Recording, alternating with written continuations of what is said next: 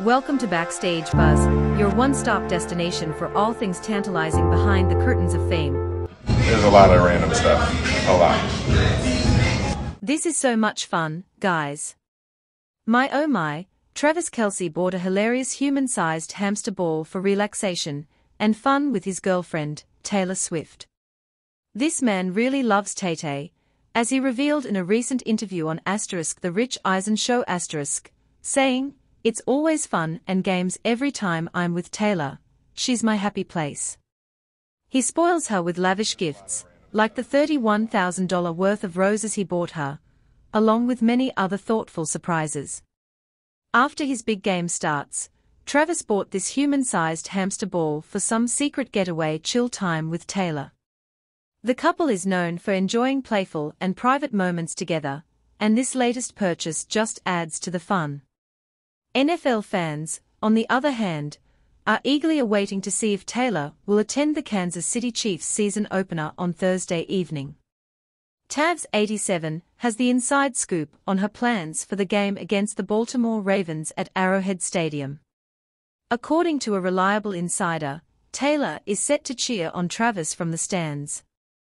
Not only that, but her parents will also be at the game, joining Travis' mom, Donna, dad, Ed, brother, Jason, and sister-in-law, Kylie. She wouldn't miss it for anything in the world, a source close to Taylor's entourage shared. After a long European leg of her tour, during which Travis managed to visit and spend time with her whenever he could, Taylor is eager to show her support for him. She's looking forward to the start of the season and plans to attend as many games as possible, beginning this Thursday. The game, which will feature a banner unveiling, is set to kick off at 8.20 p.m. Eastern Time on NBC. Fans will be kept in suspense until just before kickoff, but if Taylor is spotted in the stands or on the field afterward, social media is expected to go wild. This could be Taylor's first NFL game since the Chiefs' Super Bowl 58 triumph against the San Francisco 49ers. Taylor recently returned to the U.S after wrapping up the European leg of her blockbuster Eras tour. She's planning to attend the first five Chiefs games before resuming her tour on October 18 in Miami. The Chiefs will play five regular season games against the Ravens, Bengals, Falcons, Chargers, and Saints. The goal is to go to as many games as possible this season when the schedule allows it, the source added.